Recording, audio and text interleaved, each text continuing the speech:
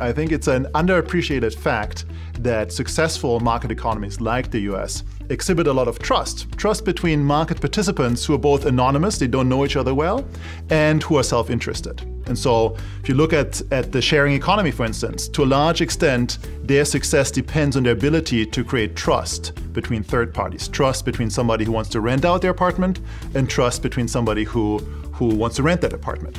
Or if you think about yourself, every day you trust people who you don't know and you trust them to do things that are actually not in their self interest. And more often than not, you don't get disappointed. So if I told my wife that the uh, the U.S. economy exhibits a lot of trust, she would be she would be very skeptical, right? And rightly so, because the the history of corporate misdeeds is a long and distinguished one, to which we've had many colorful recent uh, new entries. But the fact that people get ripped off is not really surprising. What's surprising is they are not getting ripped off more often. What's surprising is that I can go into essentially any store anywhere in the United States and be reasonably sure that I won't be sold a lemon. That's what's surprising.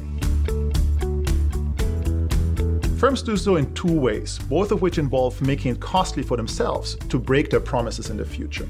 The first is that they hire people and are run by people who don't just care about profits, but also care about being trustworthy. They're essentially people, if you want, who incur a psychic cost if they break their own promise. Now, in an age in which many emphasize the cutthroat nature of business, this may sound naive and, and, uh, and quaint, but it's not, because in a market in which trust is important, being trustworthy gives you a competitive advantage.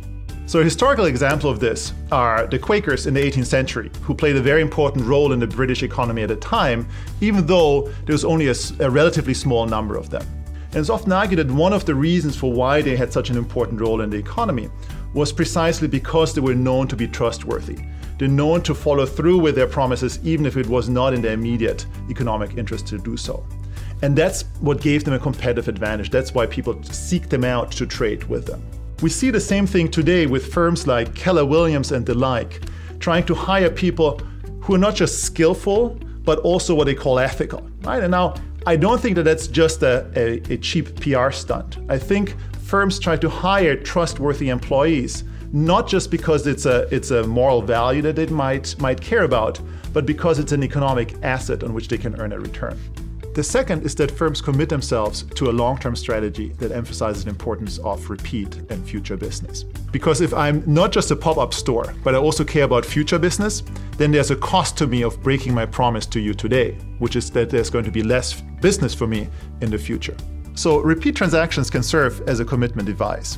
For this to work though, two things have to be true. First, not only me, but also my employees have to care about the future enough. Right?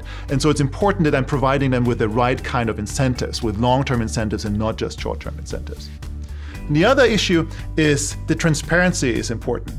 It's important that customers are able to observe how I've treated other customers in the past. And so that's why things like feedback mechanism in electronic marketplaces are really useful. Because there, if I cheat you, you're going to go online and write a review, and that's going to be costly to me. And because I know that, I'm less likely to cheat you in the first place. I think it's rational to trust firms that care about the future, and it's foolish to trust firms that don't care about the future. And so, for instance, it's it's foolish to trust a pop-up store. Right? A pop-up store is not going to be around tomorrow, and so they're not. They have no incentive to keep any promises that they're making to you. Maybe less obviously, firms that are close to bankruptcy. Right? Those are run by managers who care much more about today's profits than about future profits, because if they don't increase today's profits, they're going to be out of business in the first place. Another example would be firms in which employees are being rewarded very strongly for short term performance, for quarterly earnings or quarterly performance. Because again, decisions are then made by employees who care a lot about the present profits and they care much less about future profits. And so, again, these are the kind of firms in which I'd be suspicious about whether or not they're going to keep their promises.